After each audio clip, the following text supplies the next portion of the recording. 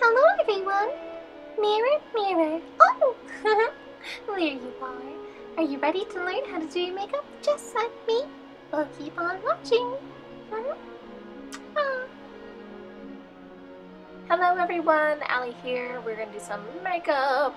Okay, we're starting with our primer. We're doing a Smashbox Photo Finish primer and I'm really working it in to all those little spots with a damp, beauty blender.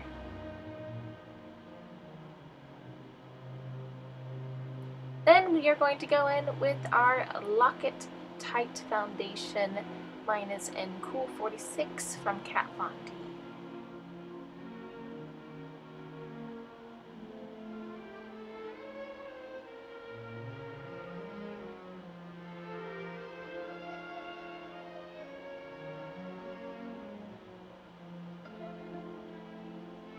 For any tough spots, I go over them with a dark circle concealer corrector in Fair from NYX NYX. And I'm also using that same beauty blender. I'm really getting in there. Then I go over everything with a neutral set colorless powder from Ben Nye. This is all stage makeup, so it's really going to last and hold. I found through a little bit of trial and error here that that beauty blender works really well at applying pressed powder too, so give that a try. Now we're going through with a highlighter. I'm using e.l.f. Moonlight Pearls highlighter and I'm really focusing on my cheeks, the tops of them, make them more round, the Cupid's bow to make that really stand out. We pronounce my eyebrows with an eyes arched. Now we're going in and we are focusing on the Nito nose for just a bit of contour to make our nose look tinier and more round. I'm using the e.l.f.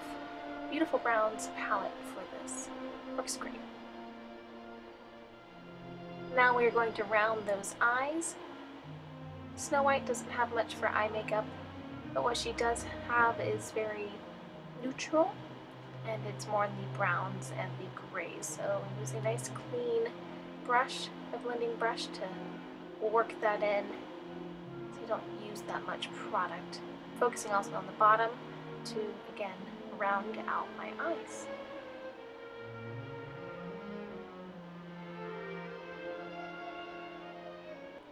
Now we're going to go in and we are going to liquid line just the top of our eyes, no cat eyes, nothing fancy, just end in a nice thin line.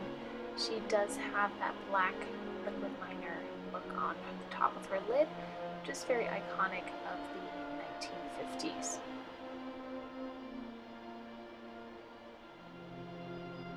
Once that's dry, go in with a little bit of darker eyeshadow here and we're just again focusing on making your eyes nice and round and shadowed.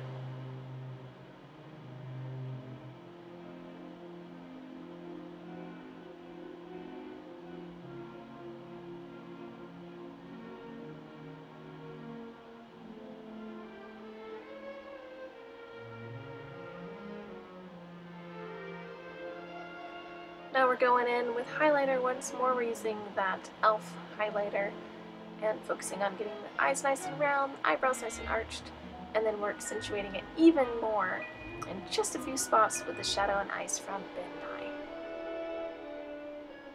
Don't forget your nose. Alright, now we are going to work on our eyebrows. I'm using a black pencil from Essence, and I'm really focusing on getting that nice and arched and then too, her eyebrows really thin. I'm using that spoolie brush to work it in, keep it natural.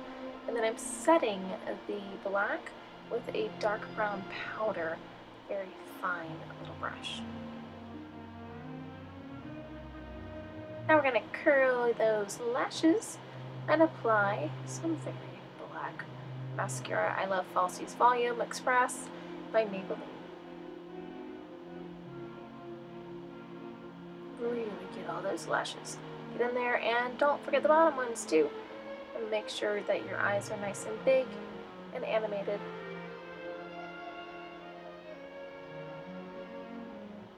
And let's do the other one. Hey, look at that! Alright, so let's get some false lashes on. Snow White just has beautiful lashes. She doesn't have any huge false lashes. So keep it natural I just found these at the store. They were just in one of those big bins, so they're not by any particular brand. Oops, I messed up there. Don't worry, you can fix any little mess ups. Alright. I do apologize, we lost some footage here, so I used that blush and really focused on the rounds of my cheeks to really make a nice, beautiful round face like Snow White has. I went over with some lip liner all over my lips, all of it, not just the outline. Filled it in with some lipstick, and then I worked the gloss in, which you can see happening here, focusing on keeping that nice heart-shaped lip. Now it's time for the wig. Yay! I have a lot of hair, and oh, yeah, that's right, I got this thing from the thrift shop, and I forgot to take off the tag. Anyways, back to the wig. I cut a hole in the top of my wig caps because it's just easier for me to get my hand in there and move around my hair to make sure it all sits nice and flat. Now, this wig is nothing fancy. I got it off of Amazon for like 15 bucks five years ago, so it's still holding up, holding strong.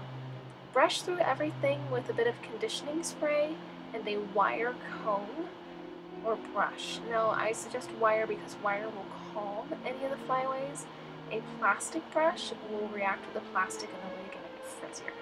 Now go through and you're going to focus on making your face more round. I pulled my wig down on my forehead a bit to remove some of the forehead length. Again, focusing on rounding my face and every piece of hair that I pin back, I'm looking at myself in the mirror, really focusing on getting that round shaped face. I pin back my little bangs, I fluff out the back of my layers, really focusing on getting it round.